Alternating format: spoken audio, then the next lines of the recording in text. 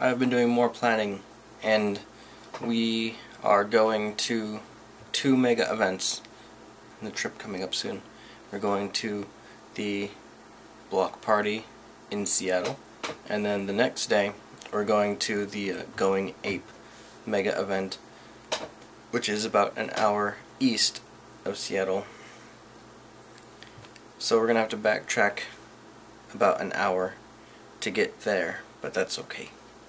And we'll find the um, the ape cache, the Tunnel of Light, Mission 9 ape cache, which went missing, but they have a uh, tribute or something like that, and it still counts for the triad because we found the headquarters and the original stash on our last trip up to Seattle. So finding this ape cache will complete that. And also geocaching challenges is a new thing that came out. I haven't really been interested, but all the challenges codes start with CX instead of GC.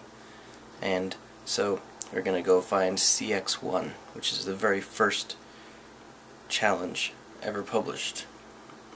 So we're going to find that.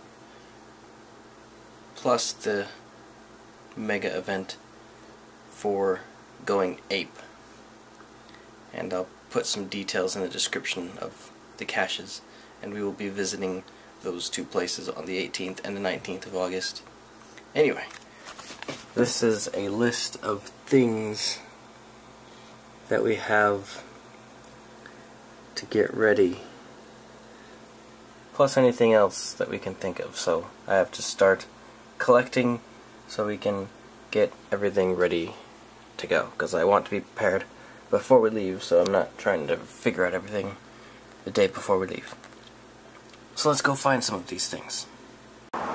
Tent. Found a tent. Let's get it down. Yes. That will be my home for about three weeks. So I've got a few more things ready and I was just in my mind going over some of the things that we'll be doing and it is going to be a completely full three weeks. Um, this is just some of the things off the top of my head that I can remember that we're doing. We are going we're going through the California Valley area, uh, Yosemite National Park. We're going to be going on the extraterrestrial highway through Nevada in the desert, uh, the Mojave Desert, we're going to be going by Area 51. Uh, in Utah, we're going to be right next to the Bonneville Salt Flats. Um, we're going to be going up through Idaho. It's probably mountains. Um, Montana, we're going to be visiting Missoula, uh, which is actually where the cache is that one of my trackables went missing. So we're going to recreate that trackable and put it back in the same cache it went missing from. So that'll be cool. And then we're gonna go across to Seattle to the Groundspeak headquarters for their block party. And we're gonna come back a little bit, do the whole Ape Cache Tunnel of Light thing, uh, the very first challenge, uh, complete the triad, uh, let's see what else. Complete two mega events, one right after the other on two different days. And then when as we're heading back down through Oregon, we're going to find two of the oldest geocaches still in existence. Um, they number them sequentially, and we're going to find GC12 and GC17, which are the 12th and 17th caches ever hidden. And 12 is actually the oldest one that still is in existence. All the 1 through 11 uh, have been archived and no longer exist. So we're going to find the oldest, ca oldest cache still in existence and the fifth oldest. Um, so that'll be cool.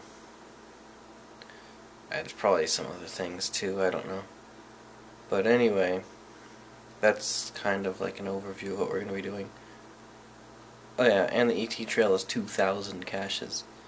So, yeah, that's more than I've found since 2005.